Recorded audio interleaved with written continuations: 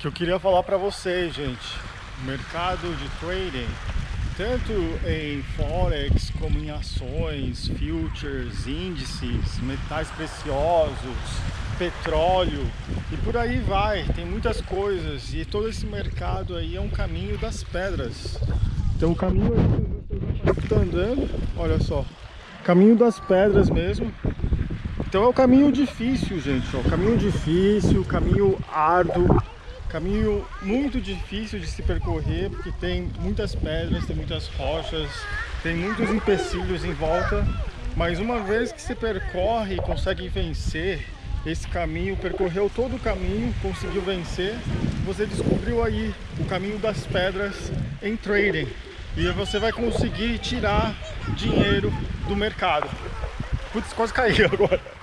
E aí você vai conseguir realmente tirar dinheiro do mercado, porque é isso, seguindo a tendência. Muita gente vai contra a tendência, mas não. A gente vai seguindo a tendência do mercado, tá?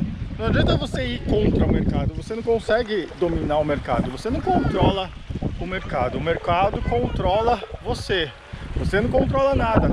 Então não adianta você ir contra a tendência, você vai seguindo o mercado e você vai seguindo os market makers, cara, seguindo aí é, na mesma direção, tá? Que os market makers pegam, tá? E vamos aí, tipo, contra as sardinhas, tá? Não seja um sardinha, não seja sardinha do mercado.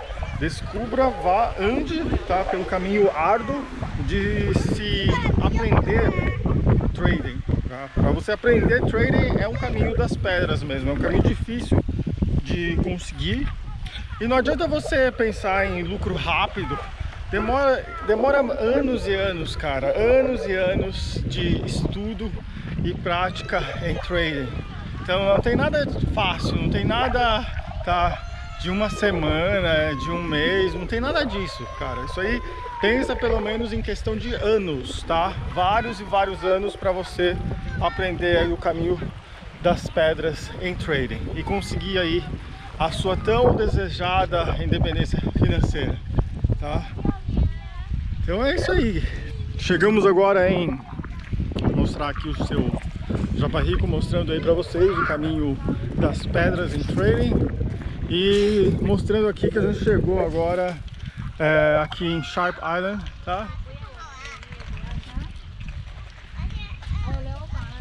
E eu lembro que isso aqui é escrito Chiu Chiu Chiu Zhao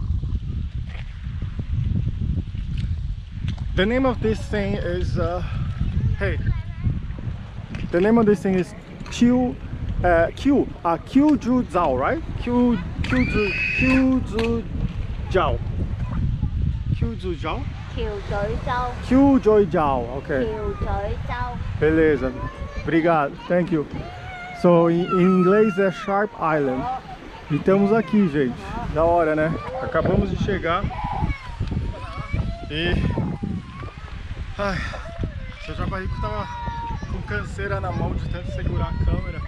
Então já chegou agora em Shark Island e vamos agora dar um rolê. Daqui a pouco a gente tem que voltar antes que a maré suba e, e não, te, não dê mais, né? Se a maré subiu, aí já não dá mais pra gente voltar. Então deixa eu até mostrar aqui pra vocês. Pra cá, gente, esse caminho que a gente percorreu. Daqui a pouco a maré vai subir e esse caminho vai desaparecer. Então a gente só vai dar um rolê e depois a gente volta lá para a ilha principal.